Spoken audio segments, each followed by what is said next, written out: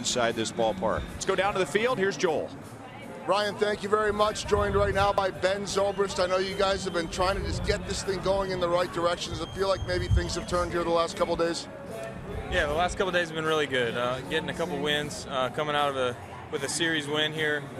Um, definitely important going into the last series of the year. You know, we really want to have a, another good series, next series in Minnesota. So, but uh, overall effort tonight was great. Uh, starting pitching, relieving pitching, offense, everything, everything pretty well. The wind was tough on the defense, but uh, other than that, it was good. I wanted to ask you about that. And by the way, I am truthfully, I swear, looking out for you. Salvi's already gone. Butera just left. I don't want anybody to get a Gatorade bucket. It's too cold tonight. The wind in the Windy City, of course. How difficult was that? We saw you and a lot of the guys fighting it.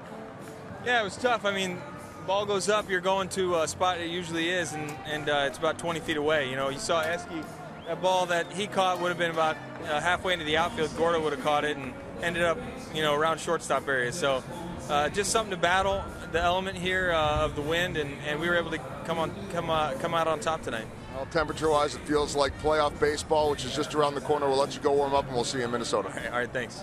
Ben Zobrist and the offense getting things done, and Ryan, however many fans are left here, and you can count them all, they're cheering for the Royals.